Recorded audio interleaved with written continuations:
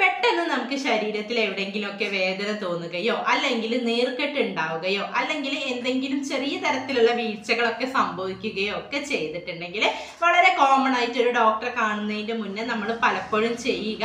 എന്തെങ്കിലും ഒരു തൈലമിട്ട് അവിടെ ഒന്ന് ചൂട് പിടിച്ച് നോക്കും അല്ലേ? എന്നിട്ടും പെയിൻ കുറവില്ലെങ്കിലൊക്കെ ആയിരിക്കാം പലപ്പോഴും നമ്മൾ ഡോക്ടേഴ്സിനെ കാണാൻ കാണുന്നത്. അപ്പൊ നമ്മൾ ഈ ഉപയോഗിക്കുന്ന തൈലം പലപ്പോഴും മുന്നേ എപ്പോഴെങ്കിലും ഡോക്ടേഴ്സിനെ കണ്ടിട്ട് അവർ തന്ന തൈലമോ അല്ലെങ്കിൽ നമ്മുടെ വീട്ടിലുള്ളവർ പറഞ്ഞു കേട്ടിട്ടുള്ള തൈലമോ ഒക്കെ ആയിരിക്കും ഉപയോഗിക്കുക. എന്നാൽ നമ്മൾ ആയുർവേദ വിധി പ്രകാരം പല രോഗങ്ങൾക്കും ഉപയോഗിക്കുന്ന തൈലങ്ങൾ വ്യത്യസ്തമാണ്. അതുപോലെ തന്നെ തൈലങ്ങൾ ഉപയോഗിക്കാൻ പാടില്ലാത്ത പല രോഗങ്ങളും ഉണ്ട്. അപ്പോൾ ഇന്നത്തെ ഈ വീഡിയോയിൽ കോമൺ ആയിട്ട് നമുക്ക് വരുന്ന രോഗങ്ങളിൽ നമ്മൾ വളരെ കോമൺ ആയിട്ട് ഉപയോഗിക്കുന്ന തൈലങ്ങളെ എങ്ങനെ വേണം നമ്മൾ സെലക്ട് ചെയ്ത് ഉപയോഗിക്കാൻ എന്നുള്ളതാണ് പറയുന്നത്. പുതിയൊരു വീഡിയോയിലേക്ക് എല്ലാവർക്കും സ്വാഗതം. പലപ്പോഴും മുതിർന്നവരൊക്കെയുള്ള വീട്ടിലാണെങ്കിൽ ചെറിയ ചെറിയ കാര്യങ്ങൾക്കൊക്കെ തന്നെ എന്തെങ്കിലും നമ്മൾ ഒരുപാട് ജോലി എടുത്തു കഴിഞ്ഞിട്ട് നമുക്ക് ശരീരം മൊത്തം വേദന തോന്നുകയോ അല്ലെങ്കിൽ പെട്ടെന്ന് ഒന്ന് നമ്മൾ ചെറുങ്ങനെ കാലൊന്ന് ഉളുക്കി പോവുകയൊക്കെ ചെയ്യുമ്പോൾ കോമൺ ആയിട്ട് നമ്മൾ ചെയ്യുക വീട്ടിലുള്ള ഏതെങ്കിലും ഒരു തൈലം ഉപയോഗിച്ച് ഒന്ന് മസാജ് ചെയ്യുകയും ഒന്ന് ചൂട് പിടിക്കുകയും ചെയ്യും. അങ്ങനെ ചെയ്യുമ്പോൾ തന്നെ നമുക്ക് പലപ്പോഴും ശരീരത്തിലുള്ള അസ്വസ്ഥതകൾ മാറുകയും ഒക്കെ ചെയ്യാറുണ്ട്. അപ്പം നമ്മൾ എങ്ങനെയാണ് നമുക്ക് പല രോഗങ്ങളിൽ ഈ തൈലങ്ങൾ സെലക്ട് ചെയ്യേണ്ടതെന്ന് നോക്കാം. അതിൽ ആദ്യത്തേത് ആദ്യത്തേത് എന്ന് പറയുന്നത് നമ്മൾ കോമൺ ആയിട്ട് എല്ലാവരും കേൾക്കുന്ന ഒരു തൈലമാണ് ധന്വന്തരം തൈലം. ധന്വന്തരം തൈലം എന്നുള്ളത് നമ്മൾ രോഗങ്ങൾക്ക് ഉപയോഗിക്കുന്നതിന് പുറമെ സാധാരണഗതിയിൽ നമുക്കൊന്ന് തേച്ച് കുളിക്കാനൊക്കെ ഉപയോഗിക്കാവുന്ന ഒരു തൈലമാണ്. കുറുന്തോട്ടിയാണ് ഇതിൽ മെയിൻ ആയിട്ടുള്ള ഒരു കണ്ടന്റ് എന്ന് പറയുന്നത്. കുറുന്തോട്ടി ഉള്ളത് കൊണ്ട് തന്നെ എല്ലാ തരത്തിലുള്ള വാദരോഗങ്ങൾക്കും വളരെയധികം ബെസ്റ്റാണ് അതായത് വാർദ്ധക്യം എന്ന അവസ്ഥ എത്തിക്കഴിഞ്ഞിട്ടുണ്ടെങ്കിൽ നമുക്ക് പലതരത്തിലുള്ള വാദരോഗങ്ങൾ ഉണ്ടാവും അപ്പൊ അതൊക്കെ തന്നെ ഒഴിവാക്കാൻ വേണ്ടിയിട്ട് നമുക്ക് തന്നെ എന്തെങ്കിലും ഉപയോഗിക്കാം. അതുപോലെ തന്നെ ഗർഭിണികൾക്കും പ്രസവം കഴിഞ്ഞവർക്കും കുട്ടികൾക്കും ഒക്കെ ഒരുപോലെ തന്നെ തേച്ച് കുളിക്കാൻ ഉപയോഗിക്കാവുന്ന ഒരു തൈലമാണ് ധന്വന്തരം തൈലം. അതുപോലെ തന്നെ സ്ത്രീകൾക്ക് പലപ്പോഴും ഉണ്ടാകുന്ന യോനി രോഗങ്ങൾ അതുപോലെ തന്നെ നമ്മുടെ എല്ലുമായി ബന്ധപ്പെട്ട് വരുന്ന എല്ലാ വേദനകൾക്കും ധന്വന്തരം തൈലം വളരെയധികം യൂസ്ഫുള്ളാണ് അപ്പൊ അങ്ങനെയുള്ള കാര്യങ്ങൾക്കൊക്കെയാണ് നമുക്ക് ധന്വന്തരം തൈര് ഉപയോഗിക്കാവുന്നത്. ഇനി നമുക്ക് ഓരോ രോഗങ്ങളായിട്ട് നോക്കാം. അതിൽ ആദ്യത്തേത് നമുക്ക് എപ്പോഴും കോമൺ ആയിട്ട് വരുന്ന ഒരു കാര്യമാണ് കൈവേദന എന്ന് പറയുന്നത് അല്ലേ? കൈവേദന പല രീതിയിൽ വരാനുണ്ട് ചിലർക്ക് കൈയുടെ അവിടെ വേദനയായിരിക്കും. അതായത് നമുക്ക് സെർവിക്കൽ സ്പോണ്ടൈലോസിസ് എന്ന് പറയാം. നമ്മുടെ കഴുത്തിന്റെ എല്ലിൽ തേയ്മാനം സംഭവിച്ച് അങ്ങനെ വരുന്ന വേദന ഉണ്ടാവാറുണ്ട്. ചിലർക്ക് ഫ്രോസൺ ഷോൾഡർ എന്ന് പറയുന്ന രീതിയിൽ അതായത് കൈ തീരെ ഉയർത്താൻ പാടില്ലാത്ത ഒരു അവസ്ഥ അതായത് നമ്മുടെ അവിടെയുള്ള ഷുഗർ കാരണം ആയിരിക്കാം പലപ്പോഴും സംഭവിക്കുക. നമ്മുടെ അവിടെയുള്ള നേഴ്സിനെ എല്ലാം ബാധിച്ച് കൈ വളരെ ബുദ്ധിമുട്ടായിരിക്കും. നമുക്ക് ഉയർത്താൻ പോലും ബുദ്ധിമുട്ടുള്ള ഒരവസ്ഥയാണ്. ചിലർക്ക് ചിലപ്പോൾ നീരൊക്കെ ഇറങ്ങിയിട്ട് വരുന്ന വേദനകളാവാം. അങ്ങനെ പല രീതിയിലും നമുക്ക് കൈവേദനകൾ വരാറുണ്ട്. അപ്പോൾ നമ്മൾ കൈവേദനകൾക്കാണ് തൈലങ്ങൾ ഉപയോഗിക്കുന്നത് എന്നാണ്. അതായത് കൈ തീരെ ഉയർത്താൻ പറ്റാത്ത അവസ്ഥകളൊക്കെ ആണെങ്കിൽ ആ അവസ്ഥയിലൊക്കെ നമുക്ക് കാർപ്പാസസ്ത്യാദി തൈലം. ഈ തൈലമാണ് നമ്മൾ വളരെ കോമൺ ആയിട്ട് ഉപയോഗിക്കുന്നത്. ഇതിലെല്ലാം തന്നെ നമുക്ക് പേഷ്യന്റിന്റെ കണ്ടീഷൻ നോക്കിയിട്ടാട്ടോ നമ്മൾ ഉപയോഗിക്കും ഞാനിത് വളരെ കോമൺ ആയിട്ട് നമുക്ക് ഉപയോഗിക്കാവുന്ന തൈലങ്ങളാണ് പറയുന്നത്. ഇപ്പൊ കാർപ്പാസിസ്ത്യാദി തൈലം പ്രസാരിണ്യാദി തൈലം. ഈ രണ്ട് തൈലങ്ങളാണ് നമ്മൾ പൊതുവെ കൈവേദനകൾക്കെല്ലാം തന്നെ ഉപയോഗിക്കാവുന്നത് ഇനി അതെല്ലാം നിങ്ങൾക്ക് തേയ്മാനത്തിന്റെ പ്രശ്നങ്ങൾ കൊണ്ടാണെങ്കിൽ നമ്മൾ കഴുത്തിനുള്ള ട്രീറ്റ്മെന്റ് തന്നെ എടുക്കേണ്ടതാണ്. ഇനി രണ്ടാമത്തത് കോമൺ ആയിട്ട് വരുന്നതാണ് നമുക്ക് നടുവേദന അല്ലേ? നടുവേദനയും ഇതുപോലെ തന്നെ പല രീതിയിൽ വരാം. നമുക്ക് നീരിറങ്ങിയിട്ട് വരാം. ചില സമയം നമുക്ക് ഉളുക്ക് കാരണം വരാം. അതായത് നമ്മൾ വെയിറ്റ് എന്തെങ്കിലും എടുത്ത് പൊന്തിക്കുന്നത് കാരണം വരാവുന്നതാണ്. സ്ത്രീകൾക്ക് ചിലപ്പം ഗർഭാശയ സംബന്ധമായ രോഗങ്ങൾ കാരണം നടുവേദന വരാം. ചിലർക്ക് തേയ്മാനത്തിന്റെ പ്രശ്നം കൊണ്ട് നടുവേദന വരാം. നടുവേദനയ്ക്ക് നമുക്ക് വേണമെങ്കിൽ മുറിവെണ്ണ ഉപയോഗിക്കാവുന്നതാണ്. അതുപോലെ കർപ്പൂരാതി തൈലം ഉപയോഗിക്കാവുന്നതാണ്. ധനന്തരം തൈലം ഉപയോഗിക്കാവുന്നതാണ്. ഇതെല്ലാം തന്നെ നമുക്ക് കണ്ടീഷൻസ് അനുസരിച്ച് ഉപയോഗിക്കാവുന്നതാണ്. ഇനി നമുക്ക് നടുവേദന കാലിലേക്ക് ബാധിക്കുന്നുണ്ട്. നമുക്ക് കാലുകൾക്ക് നടക്കാനുള്ള ബുദ്ധിമുട്ടും കാര്യങ്ങളൊക്കെ ഉണ്ടെങ്കിൽ അവിടെ നമ്മൾ തൈലം ഉപയോഗിക്കുന്നതിന്റെ രീതി തന്നെ മാറി. അവിടെ നമ്മൾ ഉപയോഗിക്കേണ്ടത് സഹചരാതി തൈലമാണ്. മറ്റ് തൈലങ്ങളല്ല ഉപയോഗിക്കുക. നമ്മൾ അവിടെ സഹചരാതി തൈലമാണ് ഉപയോഗിക്കേണ്ടത്. സഹചരാതി തൈലമാണ്. ഈ സയാറ്റിക്ക പോലെ അതായത് നമുക്ക് കാലിലേക്ക് വേദനയൊക്കെ ഉണ്ടെങ്കിൽ നമ്മൾ ഉപയോഗിക്കേണ്ട തൈലം. ഇനി മുട്ടുവേദനയൊക്കെ ഉള്ളവരാണെങ്കിൽ മുട്ടുവേദനയൊക്കെ ഉള്ളവർ സാധാരണഗതിയിൽ കർപ്പൂരാതി തൈലമോ അല്ലെങ്കിൽ മുറിവെണ്ണയൊക്കെയാണ് അല്ലെങ്കിൽ ദന്തന്തരം തൈലമൊക്കെയാണ് ഉപയോഗിക്കുക.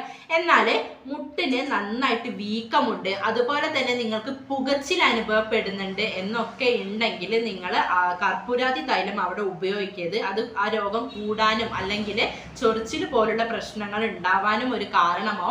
അപ്പോൾ അവിടെ നമുക്ക് പിണ്ടതൈലം പോലുള്ള തൈലങ്ങളാണ് ഉപയോഗിക്കേണ്ടത്. അതുപോലെ തന്നെ നന്നായിട്ട് നീരൊക്കെ ഉണ്ടെങ്കിൽ നമ്മൾ തൈലം തേച്ചത് കൊണ്ട് മാത്രം നമുക്കത് മാറിപ്പോവില്ല. അതിന്റെ കൂടെ എന്തെങ്കിലും തേപ്പ് ഉപയോഗിക്കണം. അതുപോലെ തന്നെ നമുക്ക് തേയ്മാനത്തിന്റെ ഭാഗമായിട്ടാണ് മുട്ടുവേദന വന്നതെങ്കിൽ നമ്മൾ ഈ തൈലം മാത്രം ഉപയോഗിച്ചത് കൊണ്ട് അവിടെ ഒരു മാറ്റം നമുക്ക് ലഭിക്കില്ല. ഒരു ആശ്വാസം മാത്രമേ ലഭിക്കുകയുള്ളൂ. പക്ഷേ അതിന്റെ കൂടെ തന്നെ നമ്മൾ ഈ തേയ്മാനം മാറാനുള്ള മരുന്നുകൾ ഉള്ളിലോട്ട് കഴിച്ചാൽ മാത്രമേ രോഗത്തിന് ഒരു മാറ്റം കിട്ടുള്ളൂ അപ്പോൾ മുട്ടുവേദനയുടെ കാര്യത്തിൽ ഈ കാര്യങ്ങളൊക്കെയാണ് ശ്രദ്ധിക്കേണ്ടത്.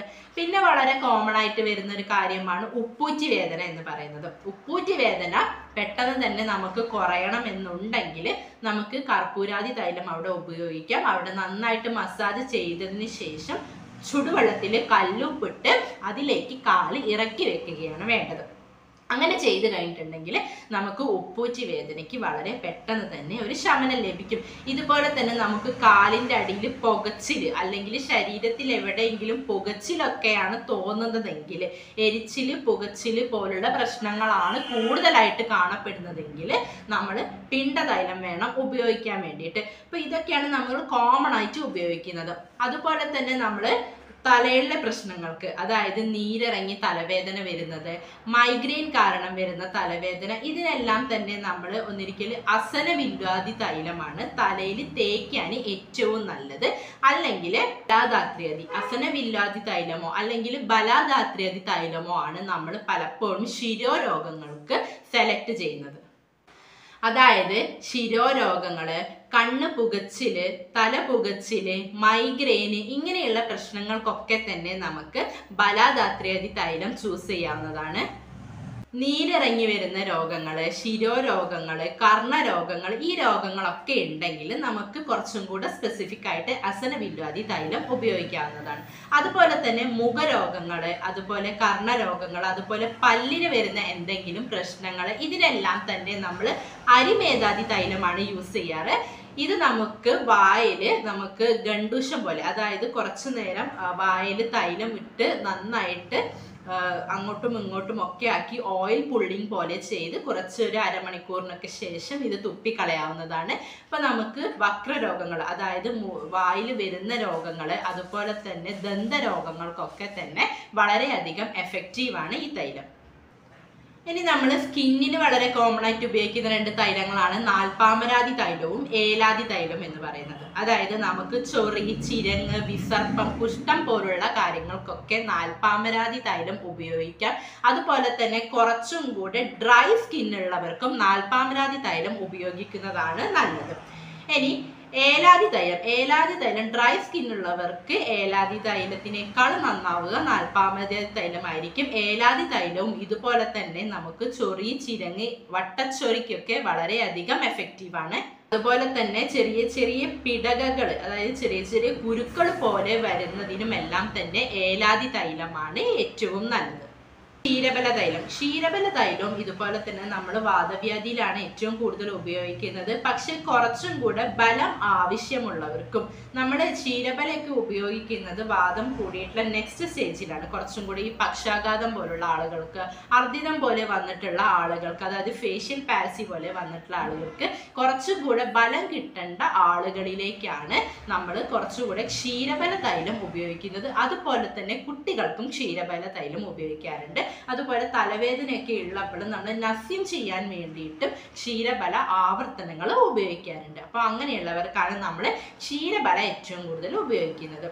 ഇനി നമ്മൾ ഏറ്റവും കൂടുതൽ ഉപയോഗിക്കുന്ന ഒരു എണ്ണയാണ് മുറിവെണ്ണ. മുറിവെണ്ണ എന്ന് പറയുന്നത് നമുക്ക് പലപ്പോഴും ക്ഷതങ്ങൾ കൊണ്ടുവരുന്നത് അതായത് ചിലപ്പോൾ വീണിട്ട് വരുന്ന ചതവുകളോ അല്ലെങ്കിൽ ഉളുക്കുകളോ വരുമ്പോഴൊക്കെ മുറിവെണ്ണയാണ് നല്ലത്. അതുപോലെ തന്നെ തീ പൊള്ളലേറ്റാലും മുറിവെണ്ണ തേക്കുന്നത് വളരെ നല്ലതാണ്. അതായത് തീ പൊള്ളി കഴിഞ്ഞിട്ട് വരുന്ന കുമിളകളൊക്കെ ഇല്ലാതാക്കാൻ വേണ്ടിയിട്ട് മുറിവെണ്ണ വളരെയധികം സഹായിക്കുന്നുണ്ട്.